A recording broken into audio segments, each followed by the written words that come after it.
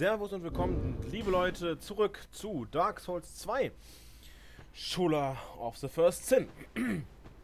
Wir sind immer noch im Tutorial-Gebiet hier. Ähm, ja. War jetzt nichts, ist jetzt nichts Großartiges passiert. Wir haben nur gelernt, wie wir unsere Waffen führen, wie wir rennen, wie wir sprinten. Und was bist du? Eine Statue blockiert euren Weg. In Ordnung. Das ist mir neu. Kommen wir da nicht vorbei? Echt nicht? Okay, cool. Was auch immer hier gerade passiert ist. Naja. Ähm, gut, dann gehen das war das mit dem Tutorial schon, lol. Okay, da oben machen wir auch nochmal eben an. Damit's schön aussieht, ne? Warum ist denn da ein... What the fuck, Alter? Was ist denn da passiert? Naja, gut. Äh, und einmal anmachen hier. So, wir haben nur noch zwei Minuten Fackel. Das seht ihr daran an der Zahl, die dann immer runtergeht auf der linken Seite, wenn wir die Fackel anhaben. Ähm, hier ist eine Nachricht. Genau, jetzt fangen nämlich die Nachrichten an. Ruhig bleiben, arme Seele. Das sind dann die Nachrichten, die andere Spieler schreiben. Und ja, gut, das ist jetzt, äh, hier können wir sehen... Blutfleck berühren, was ist hier passiert? Was zur Hölle ist da gerade passiert? Keine Ahnung.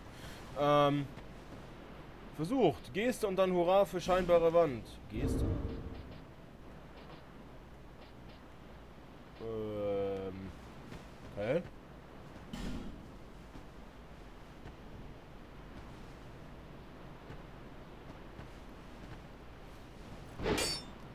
Naja, nicht wirklich, aber okay. Äh, was haben wir hier? Illusion voraus, versucht Geste. Ähm.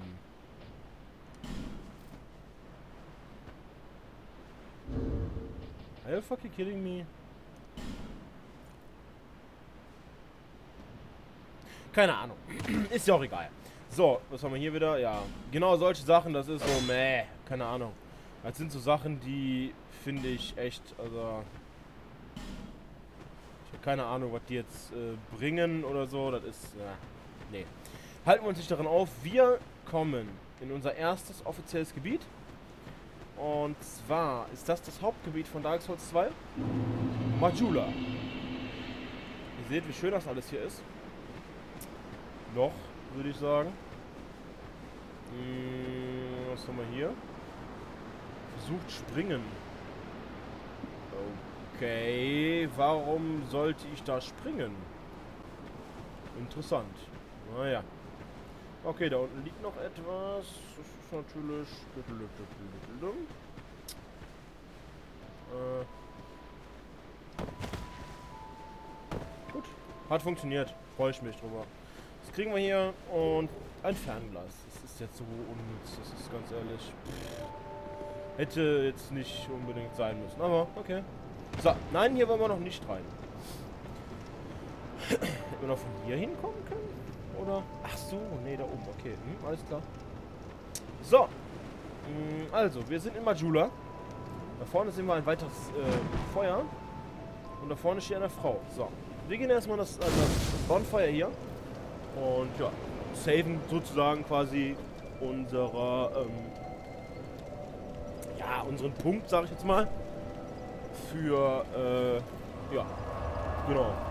Dafür halt. So. Wir reden mit der guten Frau da hinten. So. Moin. Seid ihr der nächste Monarch? Oder doch bloß ein Faustpfand des Schicksals? Träger des Fluches.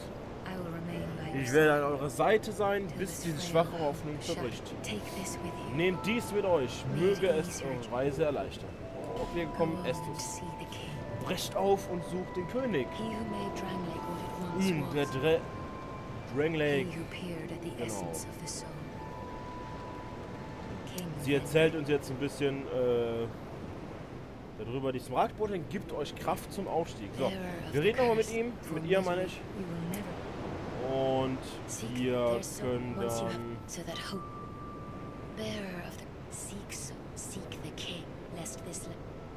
Genau, hier können wir einmal aufsteigen.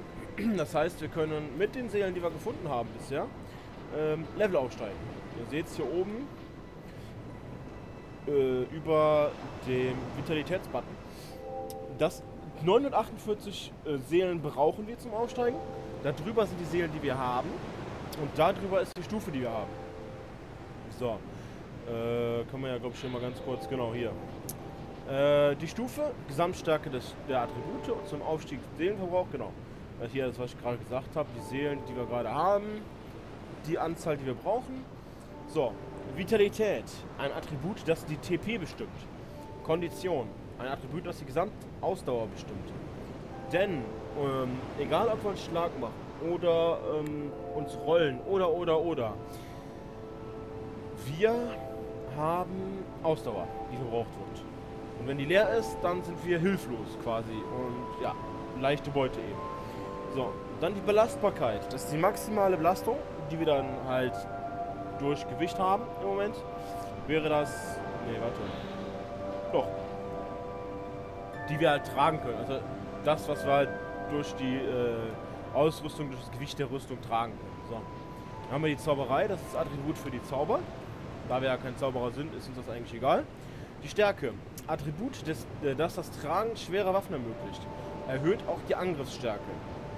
Das ist ein relativ wichtiges Attribut für uns, da wir ähm, Ritter sind ne? und dementsprechend halt ähm, stärkere und schwerere Waffen tragen wollen. Ne? Die Geschicklichkeit, das Tragen äh, für Waffen, die Geschick erfordern, das heißt Bogen oder Dolche oder sonstige et etwaige Waffen. Dann die Anpassung. Das habe ich leider nicht ganz kapiert. Erhöht äh, verschiedene Attribute, um zu überleben. Erhöht Beweglichkeit und andere Resistenzen. Okay. Dann die Intelligenz ist natürlich die Magieabwehr und die, stärkt die Zauber. Ne? Wille ist für Wunder äh, und die Blitzabwehr stärkt es. Ähm, ja, Wunder halt. Kann man halt so wie Zauber sehen. Es halt, sind halt von Klerikern. So. Weiter geht's mit TP. Ähm, TP sind die Trefferpunkte, ganz normal. Das ist unsere Ausdauer, die wir im Moment haben. Äh, 92 von 92. Und ihr seht, ermöglicht das Ausführen von Aktionen, wird durch Aktionen verbraucht, füllt sich jedoch automatisch wieder auf. Mhm. Dann die Höchstbelastung, was auch wieder zusammenhängt mit der Belastung, wie viel wir im Moment tragen können an Zeugs. Da 49 haben wir da. Dann die Zaubereislots, wie viel Zauber man tatsächlich mit sich tragen kann. Und dann haben wir die Zaubergeschwindigkeit, das Tempo, in dem die äh, Zauber ge gedingst werden, äh, gezaubert werden. Der körperliche Angriff, dafür ist die Stärkefähigkeit. Schaden durch körperliche Angriffe zu verursachen. Ja, erhöht, erhöht sich mit Stärke, erklärt sich von selbst, genau wie Geschicklichkeit. Ähm, ja. Magieangriff, natürlich, klar, Feuerangriff, Blitzangriff, Finsternisangriff, Giftangriff, Blutungsangriff. So, weiter geht's mit den Resistenzen. Körperliche Abwehr. Höhe der Abwehr gegen die körperlichen Angriffe, also physische, das heißt ähm, Schwerthiebe oder so. Dann ähm, haben wir die Magieabwehr. Erklärt schon selbst. Die äh, Abwehr gegen Zauberei. Die Feuerabwehr, also gegen Feuerangriffe sowie Feuerbomben etc. Blitzangriffe, ganz normal. Es gibt auch Blitzbomben. Ähm, dementsprechend Finsternis, Gift, Blut, dann die Versteinerungsresistenz. Ähm, genau, verursacht äh, ist die Resistenz gegen Versteinerung. Ich weiß nicht genau, wie das funktioniert. Die Fluch, ja. Resistenz gegen Hüllenwerdungsfluch. Das heißt, genau. Beweglichkeit, ganz klar. Ausweichungsgedönse da. Die Fähigkeit, Angriffe standzuhalten. Ähm, wie kann man das erklären? Eigentlich ganz genau dass man, glaube ich, nicht umkippt oder irgendwie sowas, keine Ahnung. So, hier haben wir dann die ganzen äh, Angriffe von der rechten Waffe. Drei Waffen können wir auf äh, je, jeweils pro Hand äh, kippen. Wie auch immer das funktionieren soll, keine Ahnung. Ähm, linke, linke Hand ebenso. Dann die Verteidigung gegen Schlagangriffe. Also ähm, gegen Knüppel, glaube ich, sind das. Gegen Hieb, Hieb- und Stichwaffen sind das. Hm, also Schwerter, Dolche etc. Äh, Stoßwaffen, das wäre dementsprechend ähm, Speere, glaube ich. Und die Balance, genau. Das ist das gleiche nochmal wie hier, wie die Balance, wie man standhält und so. Und ja, das war es eigentlich zu den Attributen. Bei ihr können wir auch noch den Estus Flask verstärken, was gleichzeitig auch eine unserer Heilungsmethoden ist, eine der schnelleren Heilungsmethoden als die Kumin-Kügelchen. Wir sprechen noch mit ihr. Korrekt.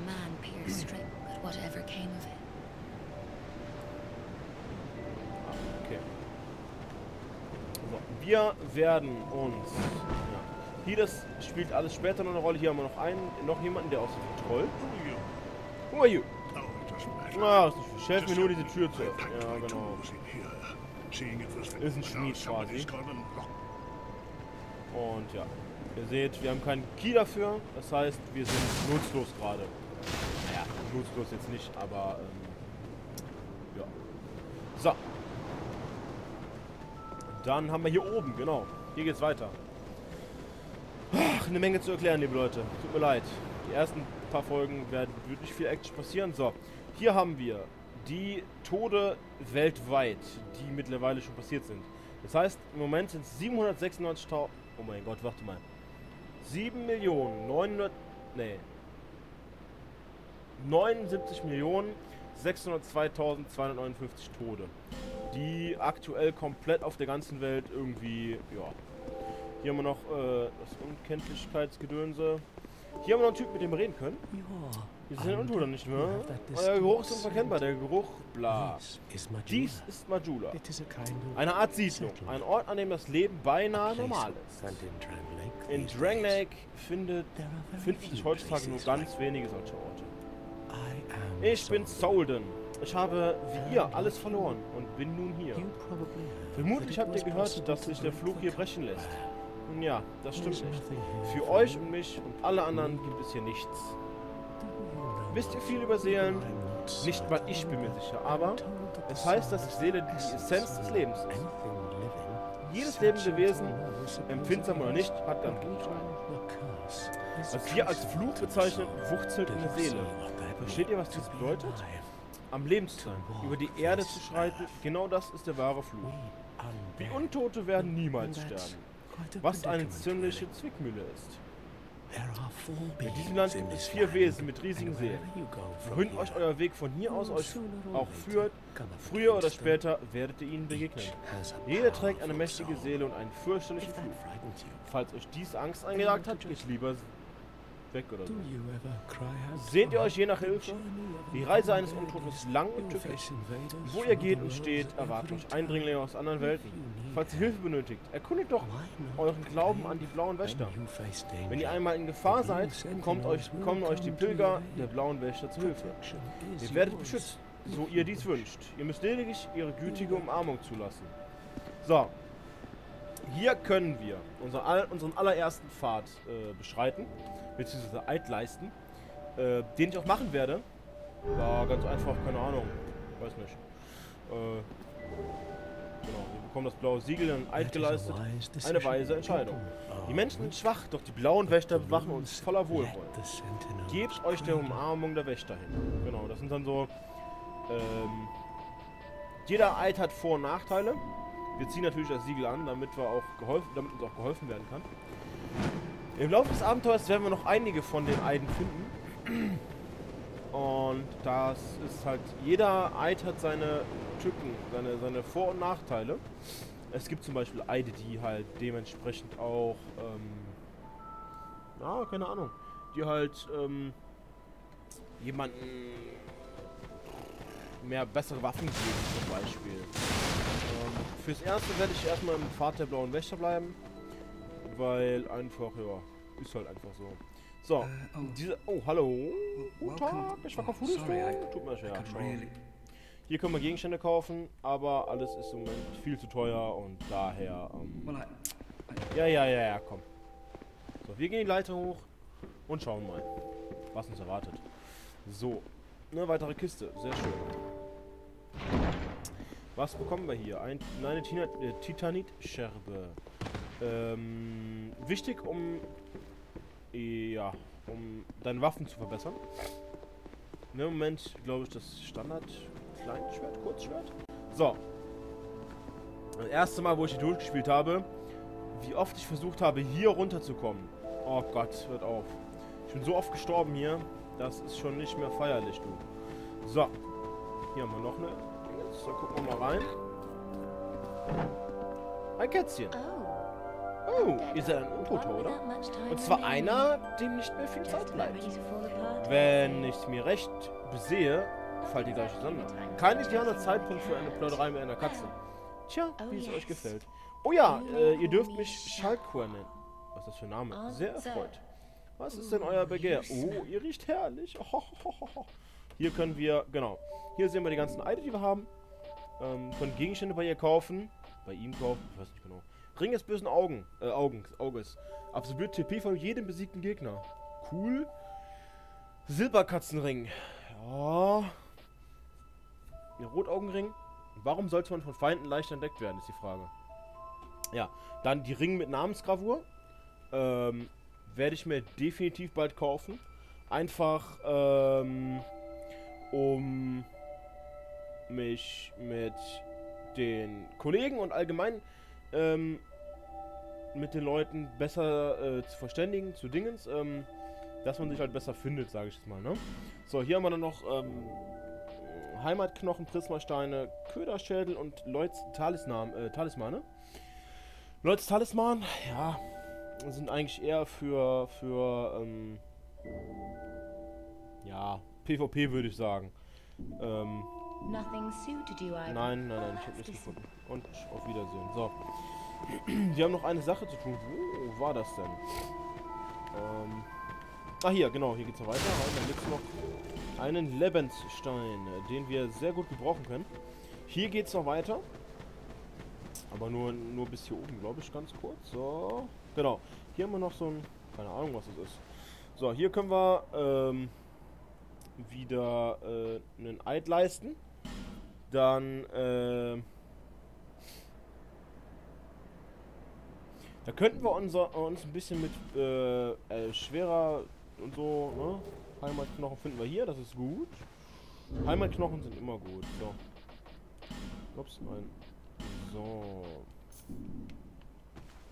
Ja, also könnte man auch ein Eid leisten, aber ja.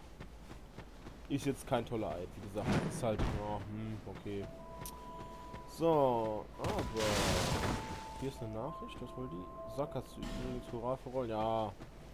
Manche, wie gesagt, manche äh, Dinge, die sind einfach nur unnütz, die sie da schreiben. Ja, das ist keine Ahnung. Schwachsinn, warum auch warum man auch sowas auch immer. Äh so, da vorne haben wir. Äh, ja. ja. Genau, unsere Gegner. Äh, lass mich in Ruhe. Und wir sehen, wir machen ihnen einfach keinen Schaden. Das ist so grausam. Ich will doch nur spielen. Naja. So, hier haben wir...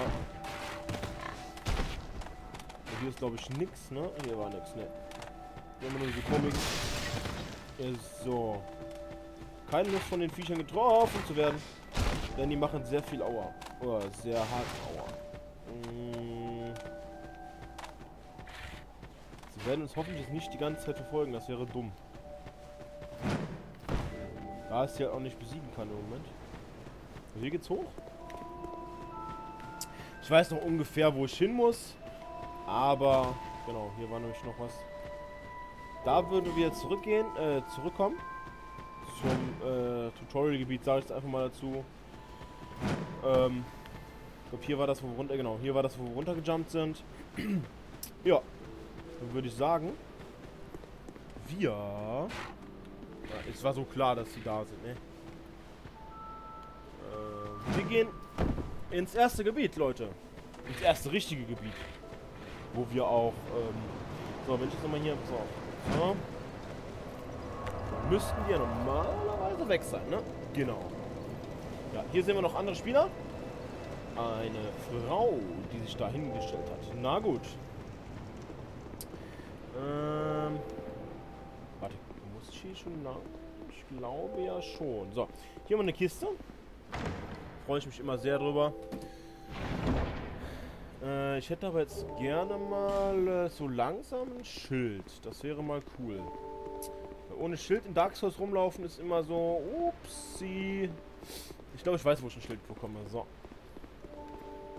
Rennen wir einfach mal hin.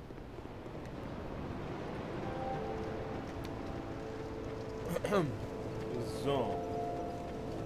Also wenn wir jetzt ähm, in unsere Welt eingedrungen werden würde, würden uns die blauen Wächter helfen, soweit ich das noch weiß. Ich bin da gerade gar nicht so sicher. Ähm, so, wir gehen erstmal hier runter, was natürlich erstmal nicht wirklich... Ach scheiße, komme ich überhaupt schon hin? Weiß ich gerade gar nicht. Müsste aber normalerweise schon hinkommen. Ähm, genau, hier war da. Genau, genau. Hier war nämlich die Treppe. Und genau. Hier irgendwo. Genau, hier ist nämlich die Kiste. Ja, eine Kiste. Da sollte im besten Fall, im Normalfall, äh, genau, ein Schild drin sein. Habe ich noch richtig in Erinnerung gehabt. Ich freue mich. So. Das Schild nehmen wir natürlich mit, das ist ganz klar, weil äh, Dark Souls ohne Schild ist, oh Gott. Ja, genau. Hier ist ein Hebel oder was auch immer das sein soll, keine Ahnung. Ja, macht, macht unsere Tür auf hier. Oder war das hier, war das hier? Weiß ich gerade gar nicht mehr, oder? Werden wir sehen. So, hier bekommen wir einmal das gebrochene Liebesschwert und die Seele eines Untoten. Ja, zerbrochenes Schwert ist jetzt, keine Ahnung, jetzt nicht unbedingt toll, sagen wir es mal so. So, nee, hier will ich eigentlich, genau, hier will ich nämlich noch nicht hin. Das ist der Flammenton, da will ich noch nicht hin. Wir gehen erstmal wieder zurück.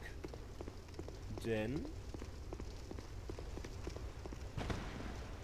wir könnten da hingehen, dann würden uns aber so schöne, dicke, fette große, mega fiese, ähm, na sag schnell, ähm, Ritter erwarten, die wir mit unserer jetzigen Waffe, boah, da will wir gar keinen Schaden machen, also Deswegen, also. Deswegen gehen wir mal hier lang. Also hier lang. Also hier lang. Leute. Und schauen uns das Ganze mal an. Man weiß ja nie, man weiß ja nie, ne? So. Auf jeden Fall, das Schild haben wir schon mal, weil Schilder in Dark Souls sind ganz, ganz gut. Beziehungsweise sollte man, wenn möglich, natürlich immer eins dabei haben. Natürlich gibt es Waffen, wo man das jetzt nicht wirklich braucht. Aber es ist immer so, Vorrichtung bewegt sich. Okay, genau.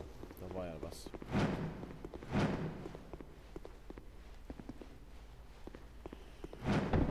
So, wir sind wieder in Majula.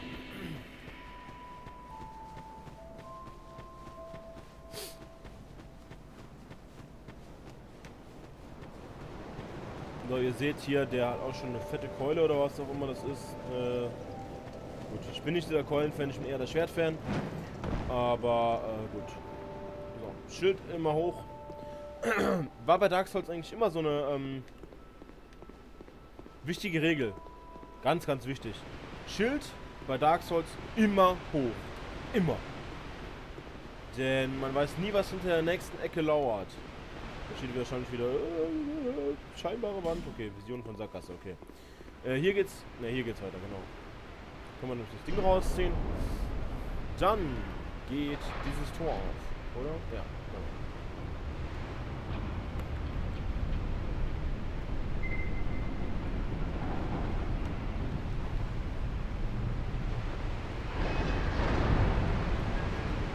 Wow, das ging schnell runter. Naja. Dark Souls. Genau. Wir sind nämlich jetzt. Weiß ich gar nicht gerade. Hm. Okay. Oh, okay. Ähm.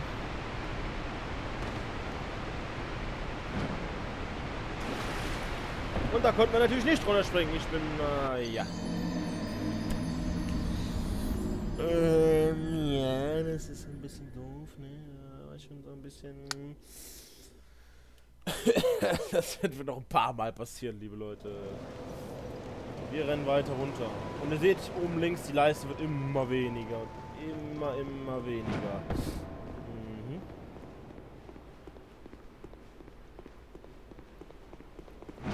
Ups. So, wir ziehen wieder das Ding raus. Gehen unsere 420 Seelen eben holen.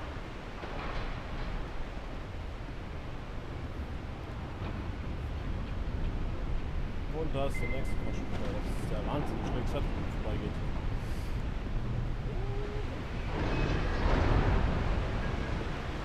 Wenn ihr wollt, könnt ihr gerne mal einen Kill-Counter aufstellen und zusammenzählen, wie oft wir dann denn auch gestorben sind. So, hier geht es auf jeden Fall runter, genau, das wusste ich nämlich. Und hier haben wir einen Menschen ab, das ist cool. Und ihr seht, darüber kann man jumpen. Ich hoffe, ich verkack das jetzt nicht. Doch, ich verkack's. oh, Jesus. What the fuck, Alter. Ich hätte die falsche Taste gedrückt. naja.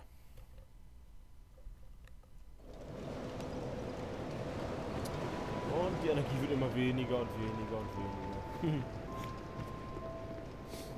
Aber gut, liebe Leute, das war's dann mit dem äh, nächsten Part. Wir sehen uns dann, ähm, ja, wieder, wenn es wieder heißt Let's Play Dark Souls 2, Schuller of the First Sin. Bis dahin, euer Night